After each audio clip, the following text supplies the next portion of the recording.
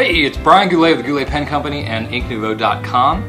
In this Fountain Pen 101 video, I'm going to be talking about pen part terminology. So what I want to do is I want to lay out all the basic pen parts so that as I'm talking in future videos, you understand what parts I'm actually talking about. Because before you understand how all the pen parts work, you need to know what the parts are. So that's what I'm going to cover in this video. The fountain pen nib is really the most important part of the pen. It's going to make the biggest difference in terms of how the pen is going to write. As you can see, there's a lot of different styles. So one of the most decorative parts of the pen. It's usually where you're going to find the company's logo. It's all different kinds, shapes, styles, sizes, uh, designs. They're really a marvel of modern engineering. They can be made of gold or steel, even titanium, other alloys as well. Uh, but the nib is really what is going to get most of the work done in a pen.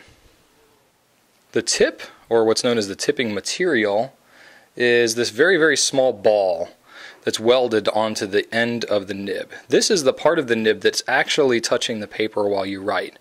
It's usually some kind of iridium alloy or some other hardened metal that's harder wearing than the gold or the steel that you would normally see used for the rest of the fountain pen nib. The slit on a fountain pen is this line that splits straight down the middle of the nib. That is what serves as the function for the capillary action that draws the ink from the feed to the very tip so that the pen will actually write. Fountain pen nibs have what are called tines. Because you have a slit going straight down the middle that completely splits that nib in half, you have tines just like you have on a fork, except these tines are very, very close together Together with this slit, they provide the capillary action to actually move the ink forward to the tip. But when you're referring to one side or the other, those are tines. The breather hole is this hole right here at the end of the slit in the middle of the nib. It can be round, it can be heart-shaped, but really the main function of this is to provide some extra air because ink can't flow without air behind it to support it. So, different companies will have different designs. Some nibs don't have them on there. It's not necessarily a requirement, it's all part of the nib design. But that's what that little hole is called, is the breather hole. The wings of a fountain pen are these parts here. Well, you can kind of guess why they're called wings, because they come out and then go back. It's very fitting that I just happen to be using a Pelikan pen for to demonstrate the wings. But whenever we're talking about the wings, that's what we're talking about. The feed is the part that backs up to the nib. The feed is this black part right here. It's not always black, it can be different colors depending on the manufacturer. It can be different styles, it can look differently. But the most important part is that the feed is the part that gets the ink from the pen up to the nib so that you can write with it. The channel, otherwise known as the feed channel, is the part of the feed where the ink actually travels down. I'm actually going to pull this, this feed out of the pen and you can see that there's this very small slit that's cut that goes all the way through on the top of the feed. This is where the ink actually travels down to get to the front where it mates up with the nib. This little slit right here, that is called the channel. Looking at another part of the feed, you can see that it's made up of these tiny little fins. Now what do these fins do exactly? These fins act as regulators for the ink. So these fins will fill up with ink in that space in between as you're writing. And since this is such a very small slit cut here in the feed channel, these wing, or sorry, these uh, fins will hold extra ink so that when you're writing faster or with more ink demand than this little feed channel can provide, it pulls the ink from here and allows you to still have a continuous flow no matter how fast you're writing. The way that a fountain pen fills, when you're talking about filling from a full bottle of liquid ink, is through this little place called the filler hole. So I'm flipping the pen over. This black part here is the feed, and this part right here, this is the filler hole. That's where the ink is actually going to draw into the pen.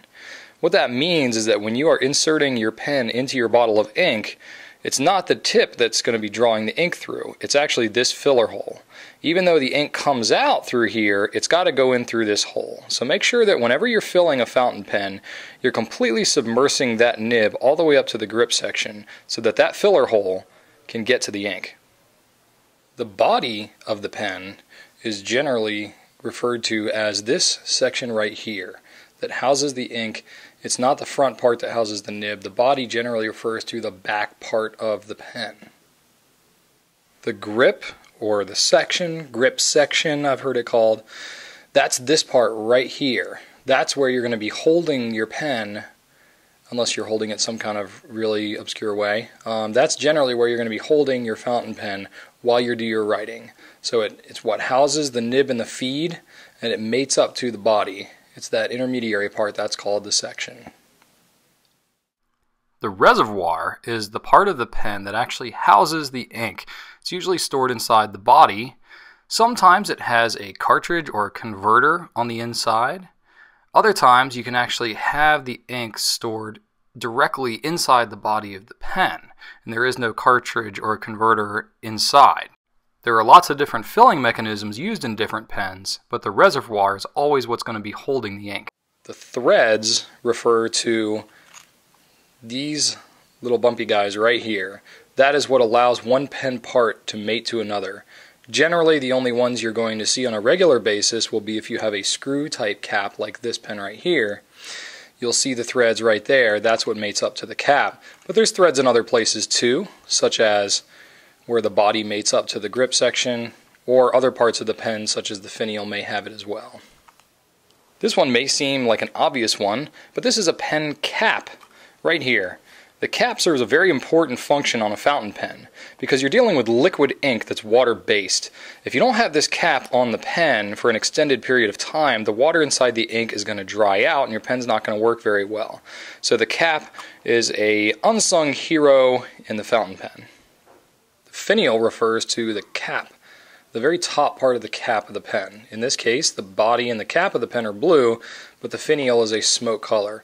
It's a decorative item, but it's also functional. It helps to hold on the cap. A lot of times it'll be jazzed up in certain ways. It might have the company's logo on it, like so, but that decorative part always refers to, is referred to as the finial.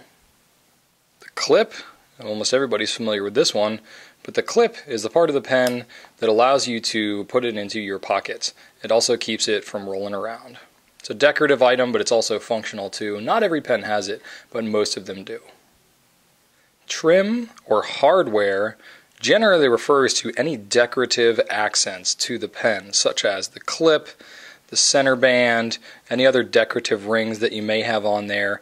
That is usually called the trim or the hardware. I hope this was helpful to you. I'll be covering a lot more terms and other things in future videos. If you have any questions, you can always shoot me an email at brian at. Thanks for watching, and write on.